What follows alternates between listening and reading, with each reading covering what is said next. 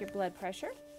Thanks to community health centers, many Minnesotans have life saving stories to Very tell. good. 128 over 76. We want people coming in for preventive care. We want to take care of chronic diseases early. We want to prevent people waiting until their conditions become so bad that they need to access emergency care or have unnecessary hospitalizations. Hi, this is Vera from Open Door Health Center. In a time of layoffs and public health insurance cuts, Minnesota's 18 federally qualified community health centers have grown in importance for primary care services. Governor Dayton uh, opting into early Medicaid is, has a tremendous impact on community health centers.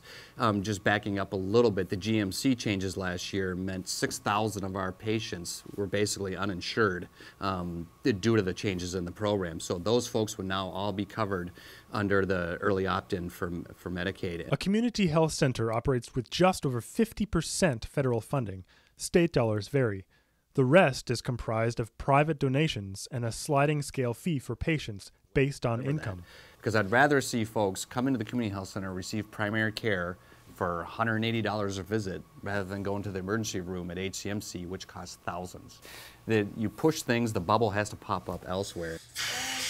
In dental, our dental program is really one of the areas of kind of significant concern right now. The state's looking at actually reducing adult dental benefits. So if that were to happen, we're going to see more people trying to access emergency care because of dental pain. Community health centers, as part of our safety net in the state of Minnesota, are vital, and you're never going to know when you're going to need them. That's one thing this recession, whatever you want to call it, over the last two years has taught us that Minnesota does need a safety net. And healthcare is a piece of that, and community health centers are the most cost effective way to deliver that.